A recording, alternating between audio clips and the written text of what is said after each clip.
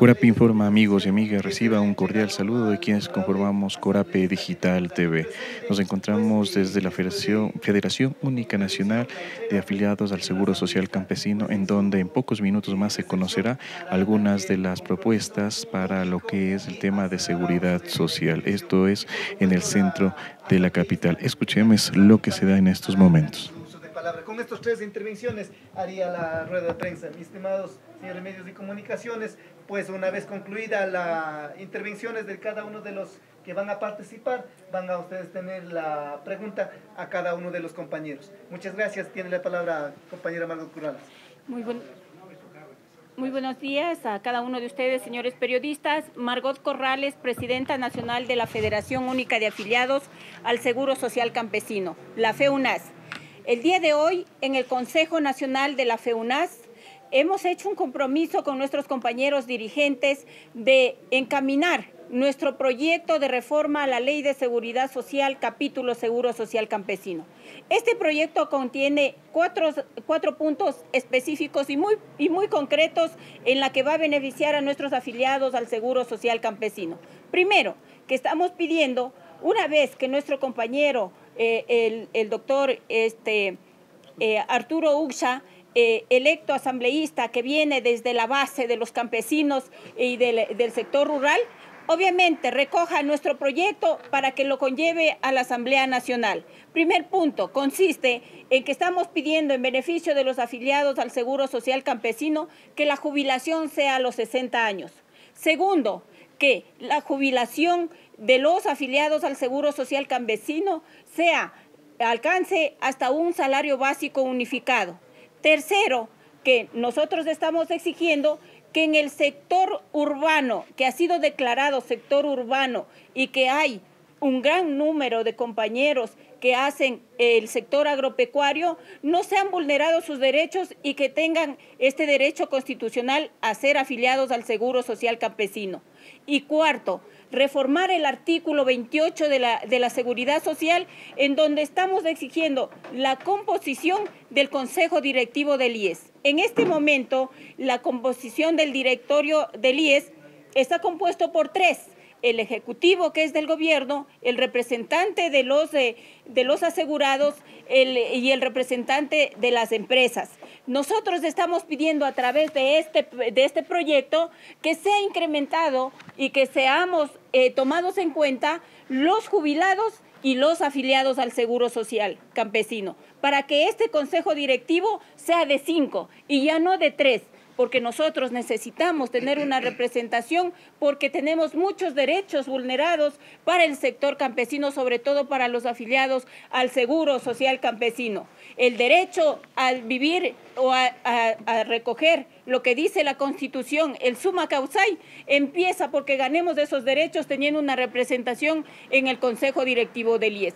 Por eso queremos hacerle la entrega formal al señor eh, asambleísta Arturo Usa ¿Quién será el que lleve nuestra voz hasta la Asamblea Nacional y desde luego sea él quien plantee una vez ya posesionado en la Asamblea Nacional, porque es nuestra representación de los compañeros del, sector rural, del sector campesino, de los pescadores artesanales, de los jubilados, y que este proyecto haga suyo, eh, que lleve nuestra voz y nosotros desde afuera seremos quienes impulsemos, presionemos para que esto se apruebe. Queremos dejarles en sus manos, señor asambleísta, de tal manera que usted sea el protagonista y lleve nuestra voz en beneficio de los afiliados, de los jubilados y de los pescadores artesanales que hoy son más, son alrededor de un millón doscientos mil beneficiarios.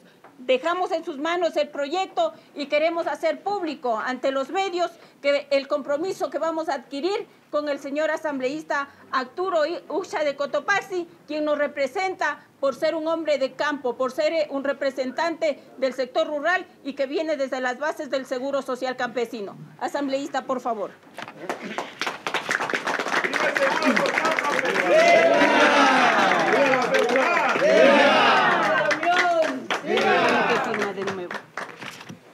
Doctor Arturo Auchale tiene la palabra en sí.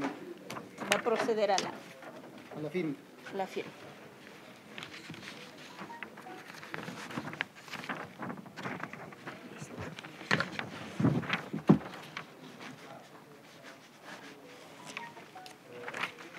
Muy bien. El proyecto a nuestro representante en la Asamblea Nacional. Compañero. Nosotros también aceptamos. Tiene la palabra. Estimados a los medios de comunicación y con todos los compañeros dirigentes de a nivel nacional, así mismo dirigentes de la provincia, yo quiero hacer llegar ese saludo de cariño, de respeto. Gracias a la población de Cotopaxi, hoy representamos con dignidad a Arturo Uxa y Roxana Palacios, dos compañeros desde la provincia que estamos aquí. Hoy vamos a representar con dignidad a nivel nacional tres cosas fundamentales, estimada compañera Margot, con todos los dirigentes a nivel, a nivel, de, a nivel nacional. La primera, nuestro compromiso y este proyecto de ley. Vamos a presentar, vamos a debatir y vamos a exigir en la Asamblea Nacional para que apruebe y estas leyes y estos derechos a favor de cada uno de ustedes. Y este es mi compromiso, estimados compañeros. La primera. La segunda, compañeros, las leyes se hacen desde el territorio con las organizaciones, con los sindicatos, con los gremios. Por eso, estimados compañeros, vamos a recorrer a nivel nacional, porque somos, y esas autoridades del territorio, conocemos la realidad del país. Y la tercera, estimados compañeros, tantos años de lucha, tantos años de lucha, y tantas veces imagino que pasaron por la Asamblea. Pero hoy tienen auténtico representante del Seguro Social Campesino, de los trabajadores, de los obreros, del magisterio, del movimiento indígena, de los compañeros montubios, de los compañeros afrodescendientes, país en general. Aquí tiene un compañero que desde la Asamblea Nacional vamos a debatir y vamos a exigir a los asambleístas también que sean conscientes que las leyes siempre se hacen a favor de la colectividad. Gracias, compañera Margot. Mi compromiso siempre. Aquí tiene, conjuntamente con mi compañera Roxana, para seguir trabajando a favor del país. ¡Viva el seguro campesino! ¡Viva! ¡Viva! ¡Viva la unidad de los trabajadores del pueblo! La palabra asimismo la compañera Roxana Palacios, asambleísta, para después pasar de que tengan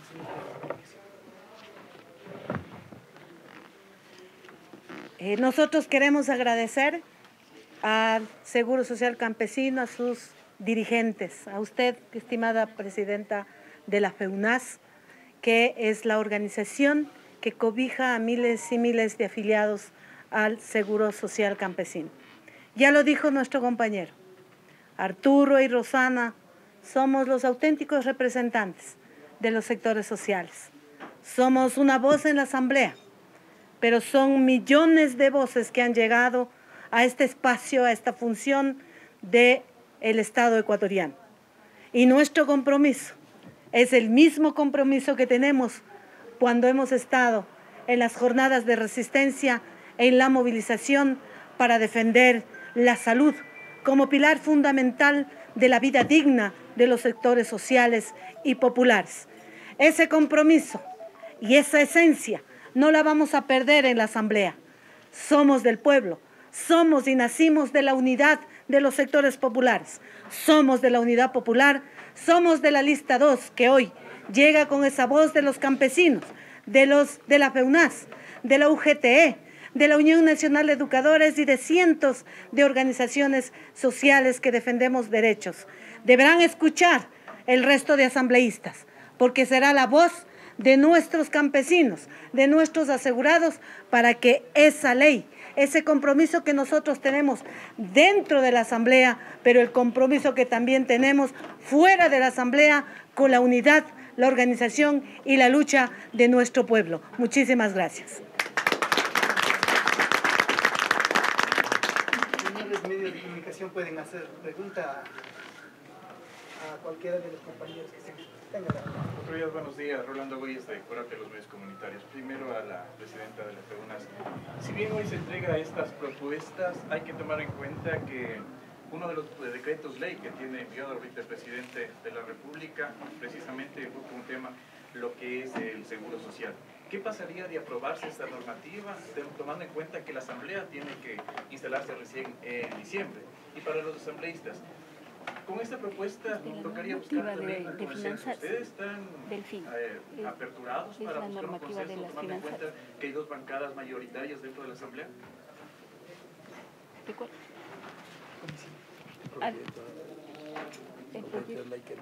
El proyecto de ley de finanzas, ¿no? Ya, ya. Eh, gracias por la pregunta.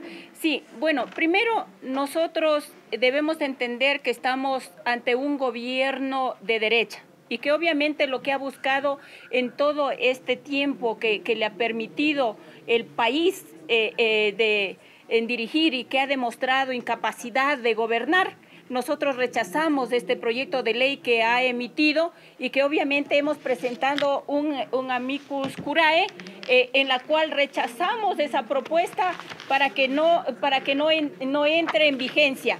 De tal manera que este proyecto que presentó el señor Lazo, nosotros hemos dejado junto a las organizaciones sociales, junto a los trabajadores, junto a las mujeres, a la juventud y sobre todo la FEUNAS, lo presentamos en la Corte Constitucional rechazando para que no se apruebe en vista de que perjudica en, el, en la rebaja o nos quita el presupuesto no solamente para salud, sino para educación y eso viene un grave perjuicio para los ecuatorianos. Hemos dejado la prueba de que nosotros rechazamos y obviamente no vamos a permitir. Estamos dispuestos y hoy el Consejo Nacional resolverá si es que continúa con sus intenciones, no quita el derecho de movilización que vamos a tener, no solamente por estas cosas, estas negativas de este gobierno de atentar al país, sino también en defender el, seguro social campesino que hoy se ve negado, inclusive con la falta de ejecución del presupuesto de este año.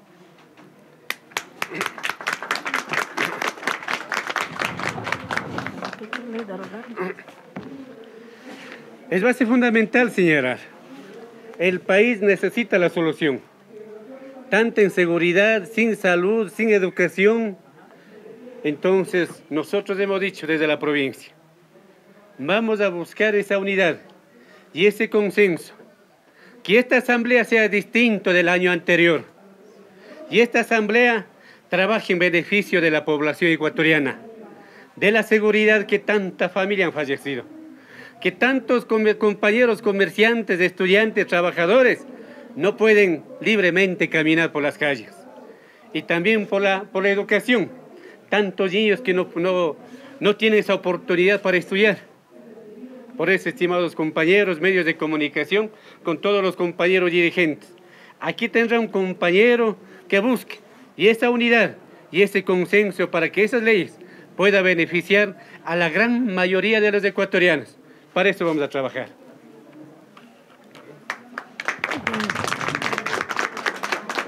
Acotando la pregunta de, nuestro, de uno de los medios muy, muy importantes, y todos son importantes, pero como lo planteó Corape y lo que decía nuestro compañero, si el decreto ley, la Corte Constitucional, a pesar de los amicus curiae que han presentado la UNE, UGTE, el FUT, el AFEUNAS, se niega y se contradicen los jueces y juezas de la Corte Constitucional y pasa ese decreto ley, a pesar de los argumentos que hemos planteado, nosotros como asambleístas estaremos exigiendo al resto de asambleístas de que se debe derogar ese decreto ley porque es parte de las competencias de los asambleístas comprometidos con el pueblo ecuatoriano. Claro que tendremos que conversar, pero aquí, sobre la mesa, con todos los asambleístas, porque allá van por el pueblo, dicen cuando están en campaña, y van a hacer cosas para el pueblo. Ahora dejan las, las orientaciones, órdenes de los caciques, de los caudillos, de los dueños de los partidos. Ahora deben demostrar que han cambiado porque muchos de ellos se han elegido nuevamente. Muchos de ellos que fueron despreciados con la muerte cruzada están otra vez. Deberán corregir, porque el pueblo nuevamente les ha dado la oportunidad. Las alianzas, los acuerdos van a ser sobre la mesa con medios de comunicación, pero sobre todo con los sectores sociales que hoy han sido perjudicados y que si pasa el decreto ley también serán perjudicados. Ese es el compromiso. No que uno solo va a hacer una ley, no es posible. Le estaríamos mintiendo, como dice nuestro compañero Arturo. Sí son 137 asambleístas, pero afuera son millones. Asambleísta que no quiera cumplir con lo que dijo en campaña, pues también tendrá que ser juzgado por el pueblo ecuatoriano. Cumpliremos, compañeros.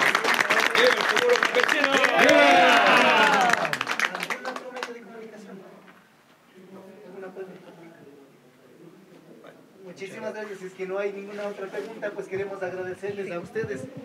Ahí escuchábamos a los principales dirigentes del Seguro Social Campesino, en donde mencionaban de esta propuesta a la seguridad social. Cuatro puntos son los que han señalado, entre ellos los años de jubilación, también los aportes, el representante, el consejo directivo del IES y también los asambleístas electos que estarán en esta nueva asamblea han dicho que trabajarán por el pueblo y para el pueblo, que los temas se realizarán y se tratarán en público y que no será nada sin un consenso, que lo que se buscará es unidad. Es el informe que les hemos llevado desde aquí, desde la Federación Única eh, de los Asegurados al Seguro Social Campesino. Le recordamos que la información encuentra aquí en Corape Digital TV. Le invitamos a suscribirse, a seguir compartiendo el contenido.